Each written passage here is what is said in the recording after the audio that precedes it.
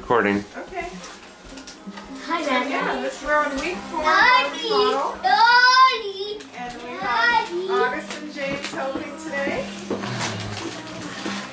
Um, so I wanted to show for the And we painted these yellow.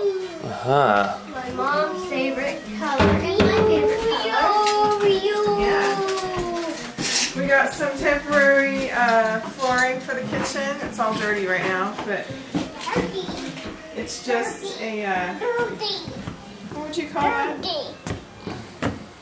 I don't know. Like a rubber. It's Rubberized tiles. Just rubber tiles. That'll cover up our cracked, broken linoleum for now. We're going to be painting this room gray with the white um, wainscoting. Just painting over the wallpaper and what's there. It's just kind of a temporary measure to get our kitchen livable for a short time.